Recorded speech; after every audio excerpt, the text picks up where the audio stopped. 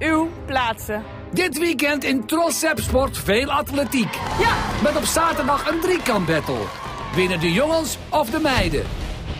En zondag tophoogspringer Martijn Nuyens. Laat hij Justin de sprong van zijn leven maken? Dus we zetten hem op uh, in 20, maar we zeggen tegen hem in 16. Trossep Sport in de ban van atletiek. Kijk dus!